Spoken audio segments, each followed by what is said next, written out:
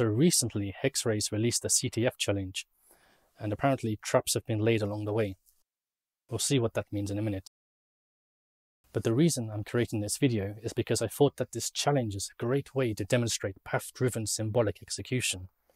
But what is path-driven symbolic execution, I hear you cry? Well, allow me to demonstrate.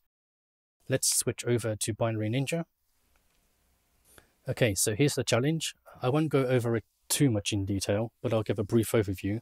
So we have a binary which takes in a password as an argument, and it will show an image if the password is good or bad. So here we have a check on part of the password, and this will be our first constraint. And then here we have another check on part of the password. This will be our second constraint. And then here we have another check on our password. Guess what? This will be our third constraint. And here we have a loop which does some partial decryption. And we don't actually need to execute this loop because if we were to do so, this would cause state explosion. And this is probably one of the traps mentioned on the web page. So if we look below that, we have a fourth check on the password. This will be our fourth constraint.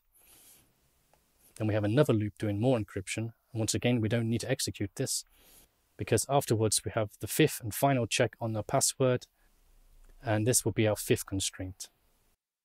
So what we want to do is get up until this point so that we've collected all the constraints on our password, but without executing the loops, because these loops will cause state explosion. So SENinja is a great tool to do this because we can drive the path along a single state and I will demonstrate this now.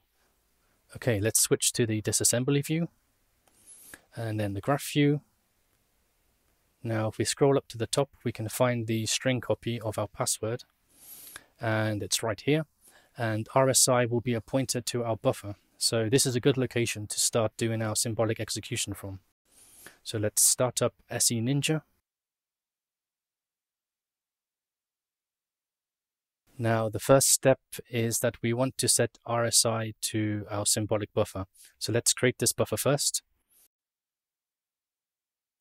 We'll call it password. The size will be 24. And we'll set the constraints as an ASCII string. Click OK. Now we need to assign the register RSI to our buffer. We can do that just here, like so. And now we're ready to start doing the symbolic execution, but we're going to be doing it in a path-driven way, which means we want to follow a dedicated path. And SENinja is really good for this because we have full control over the way the symbolic execution is done, and we can use the step command. So let's begin the symbolic execution manually like so. We'll step and we'll continue stepping up until the first branch. When we reach this path, our states are going to split we now have one state at the bad password location and one state at the good password location. So let's switch back to the good location. We can do that just here. And now let's continue driving along this path. Okay, now we reached the second check of the password. And as you can see here, we have created another state split. So now we have an additional split at the bad location. However, we're currently still on the good path, so we shall continue to execute from here. So once again, we're at the bad location because our paths have split. So let's switch back and continue on. Now, here it gets interesting because we've reached the loop and we don't actually need to execute this because we know that later on there are further checks on the password and we need to collect this data. And if we were to execute this loop now symbolically, we would get what's known as a state explosion because this loop executes over 7,000 times or something. So what we can do is skip over this loop to drive our path forward. And we do this by coming to the menu and selecting set IP to new address. So we'll just skip over this loop. And now let's continue our execution. Once again, our paths have split. Let's go back to the good location and continue on stepping. In fact, now we've reached the second loop and we also don't need to execute this loop. So we can drive our path forward by repeating the same process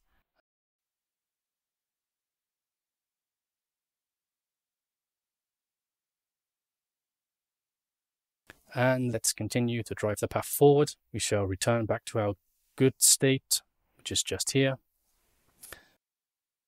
And actually now we've reached the point in the program where we have all necessary information to generate an expression. And what we can do is we can tell SENinja to try and solve this for us.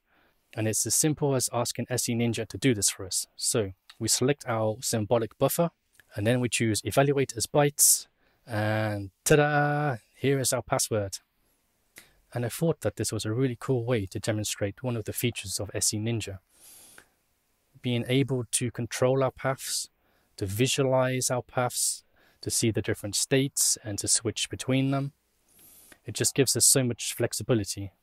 And what we can also do now is we can take the address of our symbolic buffer and we can take a look in the memory viewer. The dots mean symbolic, so we'll select our buffer here and then we can make it concrete.